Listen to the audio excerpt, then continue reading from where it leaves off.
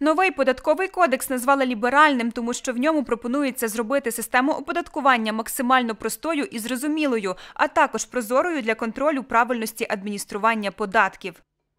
У грудні минулого року законотворці вдвічі зменшили навантаження на фонд оплати праці, сподіваючись, що зарплати після цього не будуть видаватися в конвертах. Але, на жаль, зниження ЄСВ не дало очікуваних результатів. В асоціації платників податків пропонують зовсім новий механізм стягнень з роботодавців та працівників.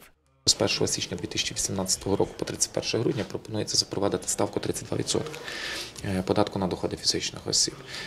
Ну, Ну, але зараз це ж 18. Зараз 18 плюс 22% ми маємо на фонд оплати праці, тобто це єдиний соціальний внесок.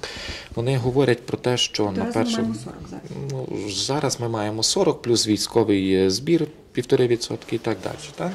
От, що пропонується? Пропонується відмінити військовий збір. Надіємося, що він вже нам і не буде потрібен. Об'єднання, воно можливо і потрібне, але чи це не призведе до того, що в майбутньому в нас просто кожен із керівників, скажімо, пенсійного фонду, податкової служби, він буде казати, дайте мені більшу частину, дайте мені меншу частину. Тобто, знову ж таки, зможуть відбуватися якісь внутрішні перипетії між тими керівниками. 32% з 2018 року. На мій погляд, немає чіткого того, що нам показали, немає чіткого розуміння, як буде відбуватися перерозподіл, хто буде сплачувати цей податок. Щодо дальших періодів, там здається до 25%, якщо я не помиляюся, зниження ставки е, в 2019 році, і там уже я бачу чіткий розподіл, що 10% сплачує. е, Роботодавець, тобто податковий агент, все решту сплачує е, платник, ну сам е, суб'єкт, який отримує заробітну плату. І вже пізніше це 20%, яка є стандартна ставка, тобто фактично навантаження зростає на 2%, тобто з 18 до 20%.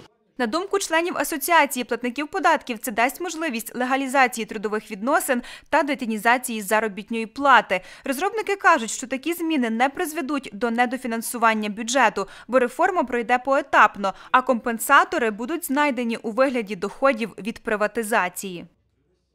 Лібералізація буде, буде скорочувати, буде давати таку, е, таку тенденцію, що буде скорочуватися надходження до бюджету. І це так, і наші вартості теж роз- роз- розраховували на це, але це буде по нашим розрахункам півроку, майже 8 місяців. Один із компенсаторів, наприклад, да, те, що зараз прийде мені перше в голову, да, це е, приватизація державного, е, державної власності, е, яке є державна власність України. Так? І це дасть можливість, ви, ви, розумієте, коли ми говоримо про те, що з 1 січня 2018 року будуть ліберальний, е, буде лібер- ліберальний податковий кодекс, будуть знижені ставки і будуть кращі умови, ніж в країнах, які є навколо України. Важливий елемент реформованого податкового кодексу служба контролю. На сьогодні в Україні фінансовими розслідуваннями займаються до 22 тисяч людей, включаючи підрозділи СБУ та МВС. В асоціації платників податків пропонують створити нову службу, яка б займалася лише фінансовими злочинами та підпорядковувалася Міністерству фінансів. Треба роз'єднати фіскальну службу на дві складові. Це е, служба, яка буде допомагати бізнесу, сервісна служба і е, поліцейська. Або ми про завжди про це говорили. Служба фінансових розслідувань. Зараз про це говорять, але скасували податкову міліцію, а не зробили ще нову. Ще одним ключовим завданням для авторів проекту оголосити мораторій на зміни на три роки до податкового кодексу, аби бізнес і суспільство були впевнені в правилах гри на довготривалу перспективу.